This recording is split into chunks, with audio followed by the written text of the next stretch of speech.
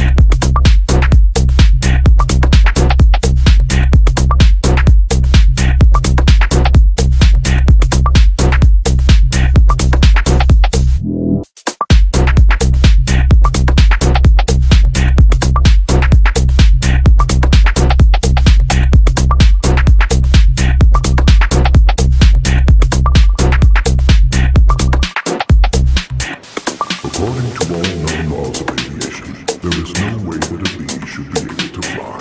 Its wings are too small to get its fat little body off the ground.